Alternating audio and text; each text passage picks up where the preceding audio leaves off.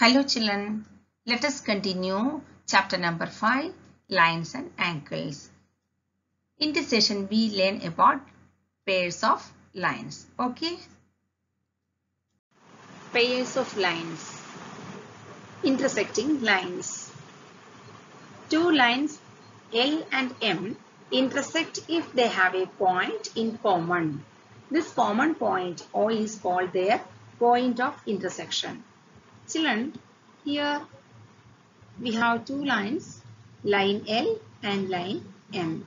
We use small letters for giving the names of lines that you have already learnt in the previous standard. And here these two lines meet at this point and it is given the name O. So we can say O is the point of intersection of these lines. Okay children? And next we have parallel lines. Two lines in a plane are parallel if they do not meet when produced infinitely in either direction. Here children see line L and line M. And we can see here they do not intersect as in the previous diagram. Here you elongate this line to the right side or left side. Then also we can see they are not going to intersect. Okay, so such lines are said to be parallel lines. I think you understood about parallel lines. Now we learn about transversal and angles made by the transversal. Okay children? Transversal. A line that meets two or more lines at distinct points is called a transversal. Here we have to take care of two points. Line meeting two or more lines and also distinct point. Distinct means separate points. Children, here we have three lines in this figure. They are P, L, M. We use small letters for giving names to the lines. Otherwise, we can use two capital letters also. Okay, here line P is meeting line L or cutting line L, intersecting line L at point A. It again meets another line, line M. So, how many lines it meets? It meets two lines. Okay, so we can say line P is a transversal of these two lines. And what about line L? Is it meeting two other lines? Children, line L, see it is from here, it is drawn here. Line actually is not of this length, it is having infinite length. Still in the figure you see this line L cuts only line P. It does not cut the line M. So it is cutting only one line only. So it is not a transversal. Okay, similarly in the case of M also it only meets one line P. It does not meet line L. So M is also not a transversal. And let us see the second figure given here. Here and also uh, in the transversal we have another point also very important point distinct points. See here the line P meets the line L and M not at same point. It P meets line L at A. P meets line M at C. So A and C they are not the same point they are different points. So P meets line L or and M at distinct separate points. That is why P is called the transversal. Okay. So we have two points. It should meet minimum two lines and also these points should be different. Okay. These are the two points for a transversal. Now in this figure see children line P meets other two lines L and M at O, the point is meeting point or point of intersection is same here. Okay, that is the important point we have to take care. Similarly, line L. How many lines does the line L meet?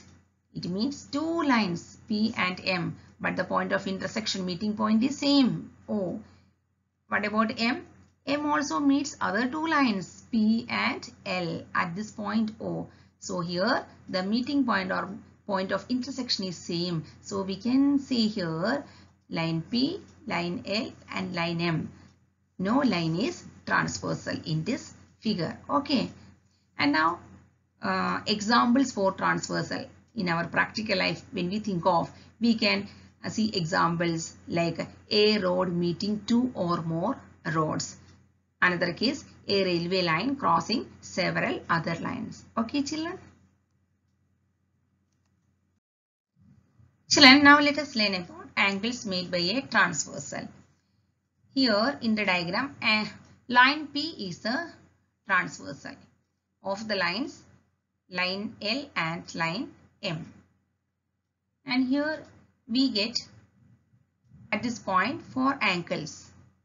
1, 2, 3, 4 and at the bottom side also we get 4 angles 5, 6, 7, 8. So when we have a transversal then a transversal is making uh, how many angles when it intersects two lines? 8 angles are formed and these 8 angles are given different names. That let us see what are the different names for these 8 angles. Okay, when we take them in pair. First one, interior angles. Interior, what is the meaning of interior word? Inside. Here in the figure where we see inside region, line L, line M. Like uh, this area is inside area, okay, inside. And here which angles are coming? Angle 3, angle 4, angle 5, angle 6. So this angle, angle 3, angle 4, 5, 6, they are coming in the inside part. So they are called interior angles. Second one is exterior angles. Exterior, the word meaning is outside. Here outside, outside the line. This angle 1 and angle 2 and bottom part angle 7 and angle 8. These are called exterior angles. Okay children. So we have four interior angles and four exterior angles. Okay. Now pairs of corresponding angles. When we have a transversal, we get some angles like corresponding angles, then alternate angles, interangles on the same side of transversal. These three words you have to study. Corresponding, alternate, interior angles on the same side of transversal. Okay. So let us see what is given here. Pairs of corresponding angles. So here out of this eight angles, again we can group these eight angles in corresponding angles, alternate angles. Okay. Here corresponding angles angle 1 and angle 5 okay one exterior angle one uh, from interior angle but they do not make they are not very near do not make linear pair.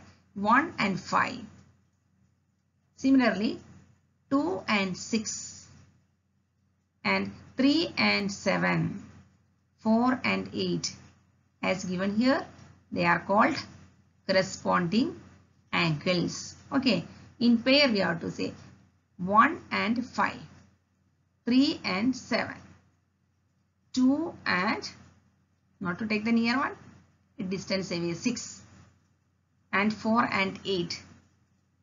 Similarly, pairs of alternate angles. Alternate angles uh, we have inside also and outside also. First let us see interior angles, alternate interior angles. Here angle 3 and angle 6 are called alternate angles, interior angles, inside angles, right now children? Angle 4 and angle 5. 4 and 5, they are also called alternate interior angles. Next one, alternate exterior angles. Exterior side coming, extra outside outside part coming, angle 1 and angle 8. Similarly, angle 2 and angle 7, they are called exterior alternate exterior angles. Now, pairs of interior angles on the same side of the transversal. This for you understand it is very easy for you to understand. Interangles take on the same side of transversal. This is the transversal. This transversal's left side inside part C. This transversal left side inside part.